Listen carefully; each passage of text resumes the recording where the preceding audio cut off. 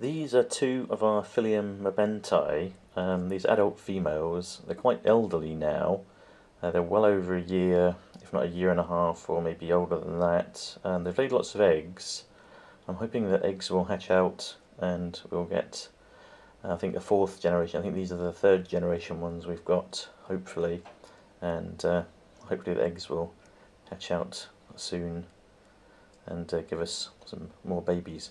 When they are small, the abdomen has these two dots that look like almost like snake eyes when if the sunlight shines through them, and uh, presumably they try and look like a snake's head poking out through leaves to deter birds or other predators from eating them.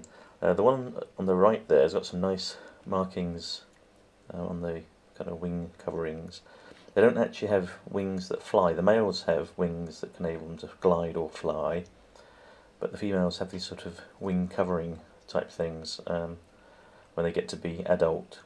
When they're smaller, these have small, um, sort of almost wing buds rather than actual um, wings.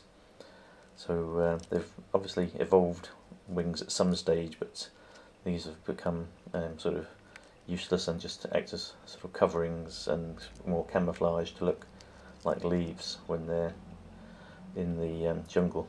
In uh, these ones come from the Philippines, and uh, the um, these also produce a chemical called pyrazine if they're disturbed, and the pyrazine is supposed to smell like um, sort of the jungle, the forest is on fire, again to deter predators from attacking them. If the forest is on fire, presumably the predators will try and run away, and that's the smell they produce.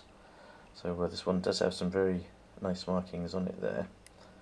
And we'll see how much longer these ones do survive.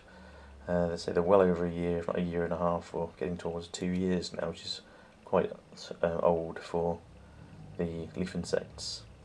So um, it's now January the 15th, and uh, I'll see if I can keep these going for a few more months um, through to May when we get um, more bramble leaves that are fresh.